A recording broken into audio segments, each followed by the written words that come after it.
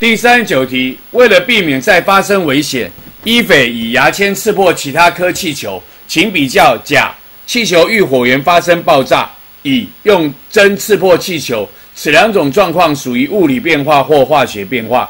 我们知道，爆炸就是剧烈的氧化，氧化就是跟氧作用，是一种化学变化，所以甲气球遇火源发生爆炸是一个化学变化。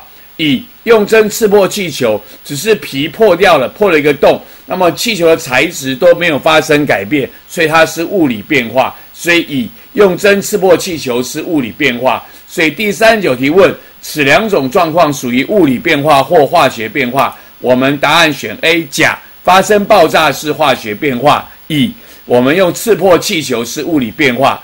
答案我们选 A。甲属于化学变化，乙属于物理变化。